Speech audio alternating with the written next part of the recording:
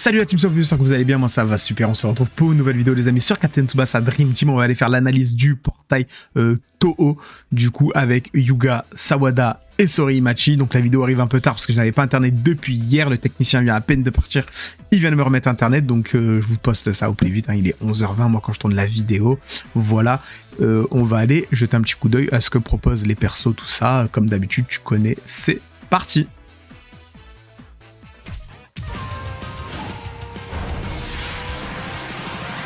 この試合俺は必ず勝つもっともっと強くなりますここでやらずにどうやって試合で結果を出すんだ Ok, Captain Tsubasa Dream Team recrutement euh, nouvel an. Ok, donc portail euh, Toho, on prend. Euh, Qu'est-ce qu'on a Ok, donc ça c'est les news du joueur. Euh, petit coup d'œil dans les news euh, du jeu. Voir un peu ce qu'il ce y a. Nouvel an, nouveau scénario euh, Igawa. Donc ça, je, aucune idée de ce que ça peut être. euh, à farmer, on va aller voir, ça doit être un truc à farmer, non même pas forcément, ok, donc retour contre le défi des superstars, euh, stam réduite de 50%, XP x5, pièces x5, jeu partagé, ça c'est en boutique, je vous laisserai aller voir comme d'habitude la boutique, on n'en parle pas ici, ok, ok, ok, euh, Challenge Road qui va être de retour, le con versus conf, et un Michael qui débarque, euh, du coup, qui va débarquer, qui va débarquer, je pense, lundi, hein, le 9, hein, si je me trompe pas. Le 9, ok. On va jeter un coup d'œil en 2-2 sur ce qu'il a, mais on, en parlera plus en détail euh, lundi. Donc euh, 25%, ça classique. Face au MDDF et gardien, paramètre plus 20%. Ok. Il est, bah, il est MD, donc je trouve pas ça très très intéressant. Alors ça aurait été mieux qu'il fasse euh, MO, MDDF, vu qu'il doit avoir encore un drip x, x 22. Il a une une 2 solo à 490. Ok, ça, vraiment, il, manquait juste ça, quoi. Il a un euh, glissade angélique à 490, le tir à 510, ok. Donc il, il- est bien équipé. Mouvement sur une de réussi, plus 75%, d'accord. Distance de dribble x 7,5, ok. Interception auto, 4,5, 2% de shield. Ok, bon après, je pense si t'as le Dreamfest, je suis pas sûr que tu joues, que tu joues lui, si t'as le dernier Dreamfest, mais bon, la 1-2 solo à 490, c'est plutôt sympa, ouais. Par contre, ce que je comprends pas, c'est ça, c'est que c'est, je trouve ça pas, pas, pas mauvais en fait de ressortir un portail euh, Toho, donc du coup collège, euh, tout ça, t'as as capté.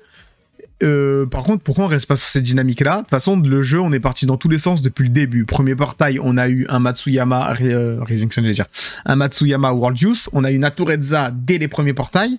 Après, on est basculé avec les Tachibana sur du Junior, Youth en, en Dreamco. On est dans tous les sens depuis le début. Donc vas-y, lâche-nous l'arc collège, on l'a pas eu.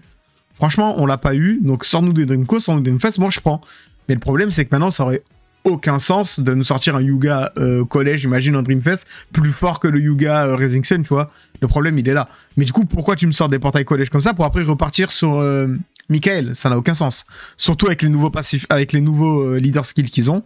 À moi, ce qu'il y a d'autres portails qui sortiront par la suite. Voilà, moi, c'est des. Moi, j'aime bien, ça change un peu au moins. Mais bon. Est-ce qu'ils vont être joués? Je sais pas. Peut-être pour récupérer les TS. On va commencer avec Sorimachi. Sorimachi, Japon, collège, Toho Academy de type Force. L'avancante qui court après la victoire. Kazuki Sorimachi, euh, attaquant en poste unique. Il a 1282 d'endurance, 35 581 en attaque, 11 530 en dribble, 12 813 en tir et 11 238 en passe. En défense, 24 274. Il a 9 103 en tacle et 10 037 en interception. En stade de physique, on est sur du 31 051, 10 172 de rapidité, 10 538 en technicité et euh, 10 341 euh, 10 538 pardon, en puissance et 10 341 en technicité. Il va être normal sur ballon haut et bon sur ballon bas, donc ça c'est très bien, ça donne des petites stats en plus. Euh, au niveau des stats, c'est bien, mais vu ce qu'on a maintenant, euh, c'est pas c'est pas exceptionnel, mais c'est des très bonnes stats quand même pour Sorimachi. Mais c'est vrai que maintenant, on est habitué à avoir des stats de fou, des 14 000, des 15 000. Donc, euh, depuis tout l'anniversaire, on nous a sorti des trucs comme ça. Donc là, ça fait un peu peine. Après, à voir, on connaît pas encore son passif et son achat. Déjà, cohésion, activation, avec au moins 5 joueurs japonais de type force, tous les paramètres, plus 25% pour tous les joueurs et 2% supplémentaires pour les joueurs collégiens. Donc si tu as une full collège, qui joue une full collège? J'aimerais bien le savoir. Personne évidemment vu que c'est pas jouable. Eh ben ça peut te faire des leader skills à 27% et ça c'est vraiment pas mal. Après, est-ce qu'ils vont la mettre en place? Je ne sais pas. Paramètres plus 30% face aux joueurs non japonais. Donc là, les stats, ça va commencer à bien gonfler. Ça, c'est bien. Euh, voler saut à 480, dribble des contracts à 450 et le tacle décisif à 450. Ok. 5,5 avec 3 joueurs euh, japonais, tout simplement. Donc ça, c'est plutôt pas mal. Tueur de compte, si l'adversaire choisi contre, il va prendre plus 20%. Il réduit l'endurance, euh, réducteur d'interception automatique pardon, de 30% par adversaire. Donc ça, c'est plutôt pas mal. Demande de ballon bas, excellent vu que ben, il est bon sur ballon bas et que sa TS principale, il me semble que c'est un ballon bas, voilà. Et il rend inactif un scellement de TS pour soi-même. Donc ça, c'est pas mal. Il a pas le double anti-scellement, donc c'est dommage. Donc va falloir euh, bah, lui doubler les TS offensifs, au moins lui doubler peut-être la volée. Je, Sorimachi, est-ce qu'il en a d'autres On ira jeter un petit coup d'œil au pire après. Euh, Sorimachi, normalement, il a plein de volets, tout ça. Donc, euh, même pas besoin de jeter un coup d'œil. Sorimachi, des volets, il en a plein. Donc, faudra lui doubler sa, sa volée pour qu'il soit bien jouable. Parce que si tu l'as fait sceller, bah, c'est dommage vu qu'il a la demande de ballon bas. Moi, je lui ça. Euh, je lui je doublerai, euh, je doublerai la volée. Donc, ça ferait deux volets. Je rajouterai peut-être, euh, parce que ça, c'est un pur numéro 9. Hein, je doublerai la volée. Je lui doublerai peut-être le dribble. Je doublerai le dribble. Donc deux dribbles, deux volets. Ça, c'est bien. Euh, qu'est-ce qu'on peut lui mettre à Sorimachi? Deux dribbles, deux volets. Je sais pas s'il a une passe à voir. Peut-être une 1-2. Passe une 2. S'il a tout ça. Je pense qu'il a la 1-2 avec Lato, tout ça. Avec euh, Yuga, il doit avoir une 1-2. Un truc comme ça, euh, Sorimachi. Donc voilà pour le petit Sorimachi. C'est bien, si ça, quand ça va rencontrer du non-jab, ça va être fort. S'ils sortent enfin une méta collège, ça peut être très stylé, ce genre de, de leader skill et tout, et très très fun à jouer. Maintenant, faudrait qu'ils sortent euh, la collège, quoi, complète, quoi. Ce serait bien qu'on enchaîne derrière avec Nankatsu, qu'on enchaîne derrière avec euh, les Tashibana, les trucs comme ça, ça serait vraiment stylé. Du coup, on va enchaîner avec le petit Takeshi Sawada, euh, Japon Collège Academito, pareil, de type vitesse, le passeur qui repère les ouvertures Takeshi Sawada, double poste MOND, 1279 d'endurance, 30 225 en attaque, 10 031 en dribble, 9 863 en tir et 10 331 en passe. au niveau des stats, ça va être le même pareil que sur Imachi. Pour l'instant, ça paraît un peu bas. On verra avec le passif. En défense, 24 159, 9 489 en tacle, 9 789 en interception. En physique, on est sur 27 841. 8999 euh, en rapidité, 9878 en technicité, en puissance, pardon, et 8863 en technicité, normal sur ballon haut, normal sur ballon bas, donc bon, ok. Euh, pour l'instant, je pense qu'il il a un bon rôle de, il va avoir un rôle de meneur de jeu, ça c'est clair. Il est bon en dribble, bon en passe. Le tir, je pense que ça va être un peu faiblard vu la puissance et vu la puissance du tir. Et en plus, Sawada, il a pas de gros tir, donc ça en tir, je pense qu'on peut l'oublier. Donc lui, c'est pareil, 25% avec 5 joueurs japonais euh, de type vitesse et 2% supplémentaires pour les collégiens. Donc ça, c'est très bien. Les trois, ils auront le même passif pour leur couleur, hein, au moins, c'est clair. Plus la d'endurance, plus l'intensité TS augmente à 20%. Ça, c'est pas mal. Par contre, ça change rien sur ses paramètres. C'est vraiment juste sur CTS. Mais bon, ça, c'est bien. Voilà, un full body. Donc il a une passe euh, en retournée soudaine à 480, donc nouvelle passe pour Sawada. Ceux qui ont le Sawada euh, de l'anniversaire, ben, peut-être qu'ils vont aller chercher sa passe. Moi j'hésite parce qu'il a des, TS vraiment faibles. Mais bon, avec une bonne passe, ça peut être sympa. Tu vois, en plus tu lui doublerais la passe parce que euh, les passes sont pas dingues. vu qu'il a pas d'auto, vu qu'il a pas d'anticellement, celui de l'anniversaire. Il a une interception vive à 450 et un tacle coulissant de génie à, 425. Même pour l'interception, je sais pas si j'en avais une deuxième, j'irai voir après, mais je, sais, je suis même pas sûr d'avoir une deuxième interception sur le Sabada. Ou alors c'est vraiment faiblard, donc euh, je me tâte. Après, il a tout ce que j'aime pas, c'est-à-dire 3% avec 3 joueurs japonais et moins 4% avec trois joueurs japonais. Donc j'aime pas parce que soit tu fais un choix, soit tu buffes, soit tu débuffes. Je l'ai toujours dit, le problème de ces persos-là, c'est que ça te baisse en fait une stat principale de ta team. C'est-à-dire que si tu as prévu de jouer une team buff, ben, tu perds euh, ben, en gros, on va dire pour l'instant, les, les, team buff, les joueurs qui buff, ils sont montés maximum à 6%. Et pour les joueurs comme ça, c'est du 5%, on va dire. Donc là, tu perds quand même 2% de, de, de en plus. Donc euh, c'est un petit peu chiant. Il a une hotline lorsqu'un coéquipier japonais allié reçoit une passe de Takeshi. Les paramètres de sa prochaine action bénéficient de plus 8%. Ça, c'est très bien par contre. Plus 8%, hotline à 8% pour n'importe quel japonais. Donc, ça, c'est pas mal. Euh, moins 20% de chance, euh, de, moins 20% de chance pardon, d'activer une technique spéciale par renforcement d'interception automatique pour les MO, MD, DF. Donc ça c'est excellent. Il y a que les, attaquants qui vont pas être impactés, mais là, tu as tout MD, à moins 20%, c'est déjà pas mal. Et après, il a une endurance euh, utilisée lors d'une TS, moins 25%. Euh, bah, le problème, c'est que le seul petit problème, c'est que voilà, ces stats, elles sont pas hyper dingues comparées encore une fois aux stats qu'on a depuis l'anniversaire. Et il a aucun paramètre qui booste ses stats en fait. Il va booster ses TS avec le full body, l'intensité, mais ça, ça a pas bougé en fait. À voir. Moi, je pense qu'il va plus servir pour l'instant à récupérer les TS. Après, à voir s'il peut avoir des, boosts supplémentaires et tout. hein. Je dis pas que ça va être nul, mais en, fait, on a trop eu des monstres euh, dans l'anniversaire, donc ça va être compliqué en fait. À moins qu'ils te sortent une full collège avec des boosts en plus sur les collégiens et tout, et là, ça peut, ça peut changer vraiment la diff. Donc Japon, pareil, Académie Toho, de type technique, le symbole de l'esprit combatif, Kojiro Yuga, attaquant poste unique, 33 685 en attaque avec 10 950 en dribble, 12 009 en tir et 10 726 en passe. En défense, il a 27 013, en tacle 11 004, en, contre, on s'en fout, et en interception 11 050. Donc les stats sont corrects, mais c'est pareil, c'est pas, pas dingue. Quand tu prends le Yuga euh, Super Dreamco, il n'y a pas photo.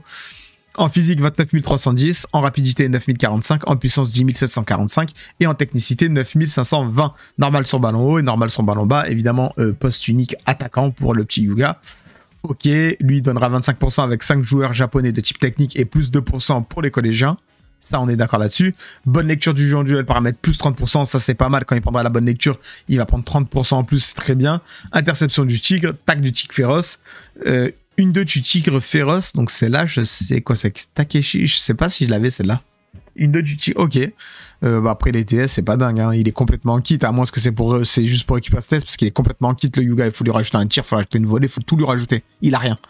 Il arrive rien. Est-ce que tu vas avoir envie de sacrifier des joueurs sur lui? Je sais pas. Si tu joues collège et que c'est ton kiff, oui, en même temps. Avec au moins 3 joueurs japonais, paramètre plus 5,5. Face aux japonais, il prend plus 30%. Ok. Distance euh, x5 lors d'un dribble réussi. Très bien. Mouvement de 2 réussi, plus 30%. Ok. Et rend inactif deux seulement de TS pour soi-même. Donc ça, c'est bien. Euh, pas besoin de doubler TS. Voilà. C'est un portail plus, je trouve, fun que intéressant. C'est-à-dire que ça, moi, personnellement, je trouve que ça fait plaisir de revoir un peu du collège. Maintenant, euh, ça serait bien qu'on ait d'autres collèges, qu'on puisse faire un 11 collège qui paraît plus ou moins viable et jouable. Voilà, ça, ça serait bien, parce que pour l'instant, c'est pas le cas. On n'a pas de 11 collèges viables et jouables. Euh, faudrait qu'ils sortent d'autres persos qui boostent les collégiens. Tu vois, je sais pas, par exemple, plus 5% pour les collégiens, des, des bails comme ça, comme il y a eu avec les Allemands qui se boostaient entre eux sur un joueur, mais eux vraiment qui se boostent tous les collégiens ensemble. Et là, tu aurais une team qui pourrait être viable et jouable en, en PvP, peut-être, tu vois. Et ça, ça serait fun. Je sais pas vous ce que vous en pensez, mais moi, une team jouable et viable, euh, full euh, collège, je pense que ça peut être intéressant. Donc voilà, en fait, là, je les vois beaucoup. C'est pour un peu, on va aller, on un coup d'œil parce que j'ai les persos du coup. Euh, je les vois plus sur une team pour euh, monter les, comment dire, les, pour prendre les TS. Pour l'instant, les persos. Parce que jouable, voilà, quand tu vois un code Giro comme ça, ah si, en plus il a déjà, donc il a même pas de TS à récupérer sur le code Giro. Euh, le tacle on l'a et l'interception on l'a déjà, on l'avait déjà. Et le Takeshi, voilà, Takeshi c'est ça le truc, c'est que la passe solide à 385, euh, merci mais non merci. Donc si on peut lui mettre la- l'autre passe, déjà ça lui doublerait ses deux passes. Euh, après l'interception, vous voyez 450. Donc en fait le Takeshi il est vraiment là pour faire récupérer TS. Voilà. Le Takeshi, si vous avez celui-là, vous récupérez l'autre. Déjà, ça vous fait une interception à 450. Et en plus, vous pouvez lui doubler l'interception, lui doubler la passe.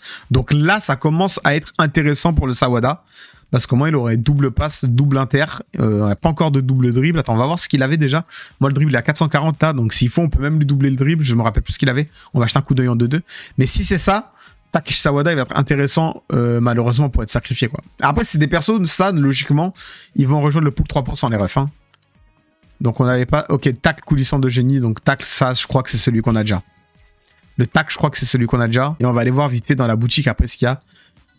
Euh, Ah non, tac perforant. Donc on- voilà. Donc déjà, on peut lui mettre double. oui, on peut tout lui doubler. Voilà. Tu lui doubles la passe. Euh, Ouais, tout lui doubler, ça va être compliqué parce que. euh, Il n'y a pas cette place. mais bon, tu peux lui doubler bah, le tac, tant pis, mais tu peux lui doubler au moins la passe. Tu lui changes celle-là, tu mets l'autre, et tu lui doubles. Euh, attends, qu'est-ce que j'ai dit qu'il avait? Et l'interception. Et tu lui doubles l'interception. L'interception, l'interception à 450, qui sera beaucoup plus intéressante que moi, mon interception, euh, ma pauvre interception à 415. Euh, l'interception à 450, je sais plus sur quelle personne elle était.